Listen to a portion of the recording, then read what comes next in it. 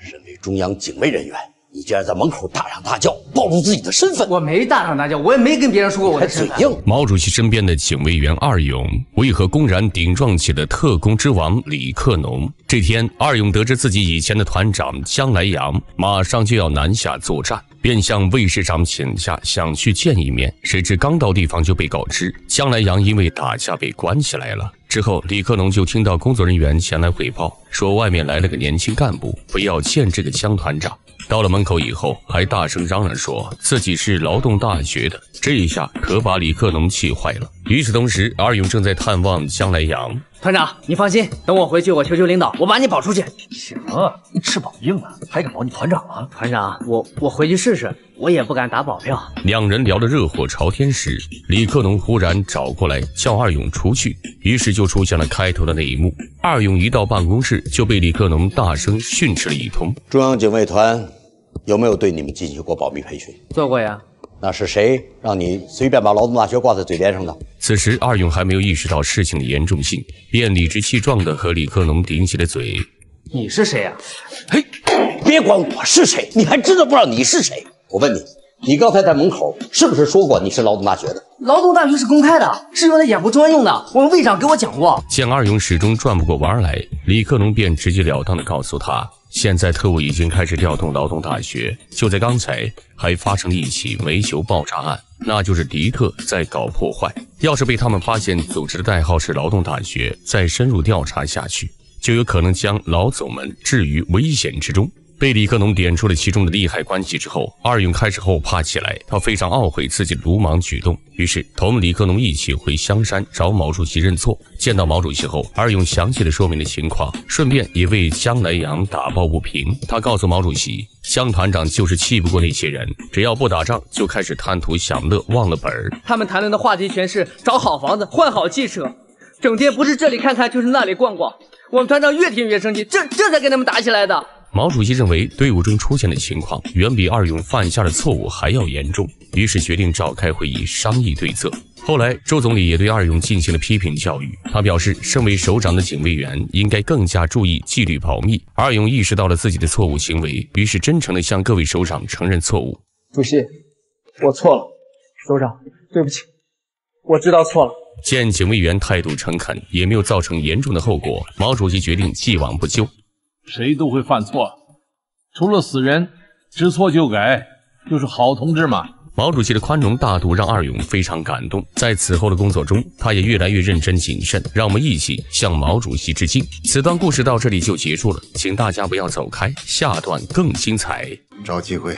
先干掉周恩来吧！一九四九年开国大典前夕，国军特务段云鹏收买了一名花匠，将他安插在了毛主席和周总理的住所附近，并让他画出合适位置放置弹药。花匠以为自己伪装得很好，殊不知是关公面前舞大刀。周总理早已察觉到了不对劲。有一次，周总理从毛主席办公室里出来，回头看了一眼这名花匠。花匠脸上看起来毫无破绽，但他的手却不停地在颤抖。虽说当时两人的距离几十米，可这个微小的动作还是被周总理发现了。为了以防万一，周总理立即召开会议，提醒大家要加强安保工作。后来，周总理又找来身边的两个警卫员，让他们密切关注花匠。的一举一动。顺便再查一下他的来历。另一边，花匠。也在和段云鹏汇报情况。这个周恩来的眼睛太厉害，无论我在哪儿，他都看得见，后脑勺都长眼睛。他原来就是共产党的特科。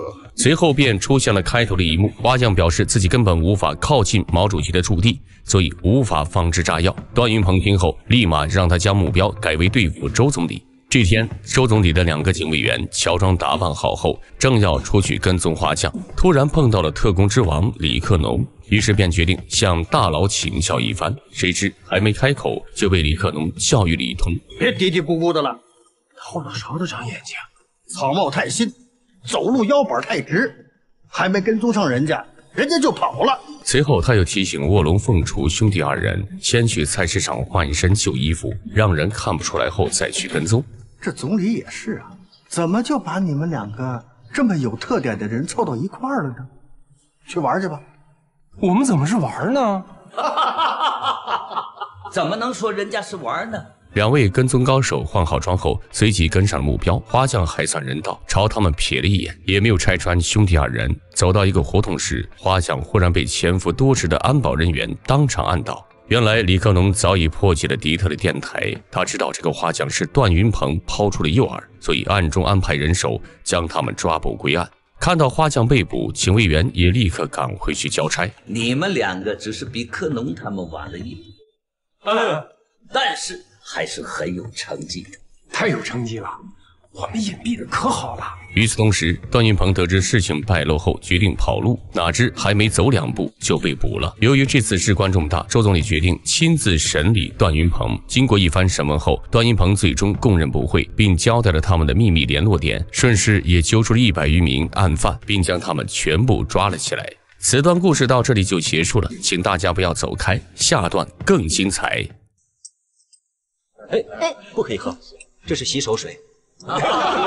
这是新中国第一批外交天团，他们此前都是浴血奋战的将军，为了新中国的外交事业，脱下视如生命的军装，从此踏上了新的征途。由于他们一点也不懂西方的礼仪，毛主席特意安排培训班为他们一一讲解。上课第一天，外交部的严主任就发现了大使夫人们的穿着问题。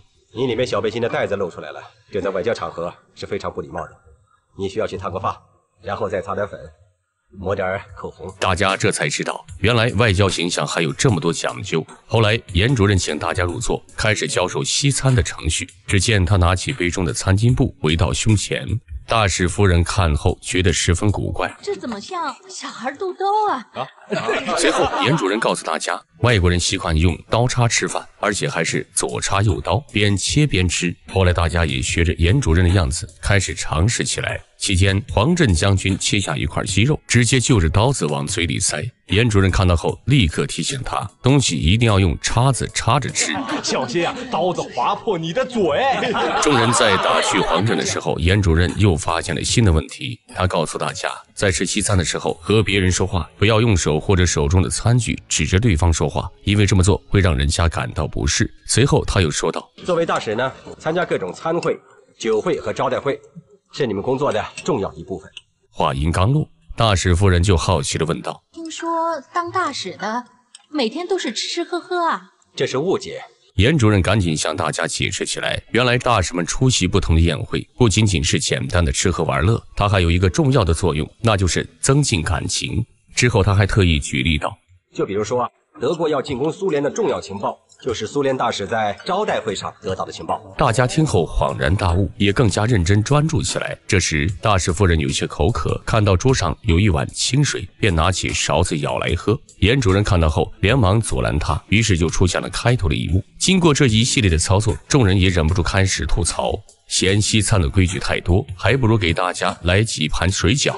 外交无小事，我们只有边吃边学，走出国门才不会闹笑话。听完严主任的一番话后。大家也纷纷表示认同。虽说将军们对这一切还不太习惯，但大家还是在一片欢声笑语中积极主动地学习了起来。故事到这里就结束了。喜欢的朋友点赞关注，我们下期再见。